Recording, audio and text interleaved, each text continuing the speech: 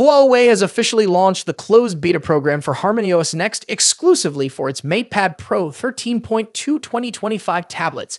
This exciting update is calling for users to join the software testing and explore the latest features before the stable version is released. HarmonyOS Next is Huawei's latest software iteration, designed to enhance user experience with cutting-edge features. The MatePad Pro 13.2 2025, which comes preloaded with HarmonyOS 4.3, is now eligible to test this major update. HarmonyOS 4.3 already offers powerful AI driven multitasking capabilities, and the beta program promises to take it a step further by introducing new features that could redefine tablet usability.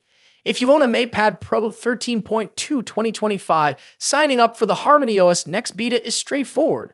1. Check the software version. Ensure your device is running on HarmonyOS 4.30.128. To verify, open the Settings app Navigate to system and updates greater than software update. 2. Sign up via My Huawei app. Launch the My Huawei app on your MatePad Pro 13.2. Go to the home section and tap Upgrade and try under the multi-device trial option. Complete the required form and follow the on-screen instructions. Submit your application.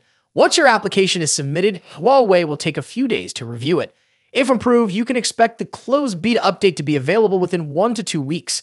Before installing HarmonyOS Next, it's crucial to back up your data. Here's a checklist to get ready. Back up your data. Take a complete backup of your device, especially third-party app data.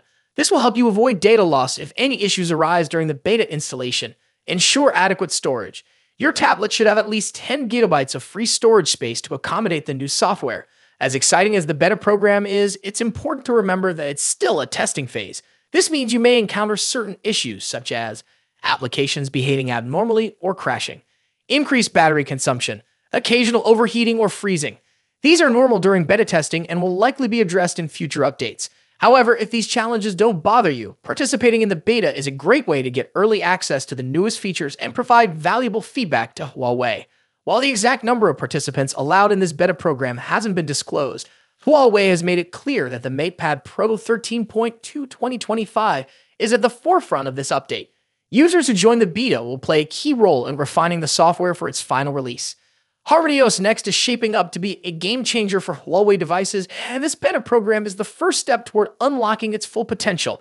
If you're a MatePad Pro 13.2 2025 user, now's your chance to experience the future of HarmonyOS. Stay tuned for more updates as we continue to explore the features and improvements that HarmonyOS Next brings to Huawei's flagship tablets.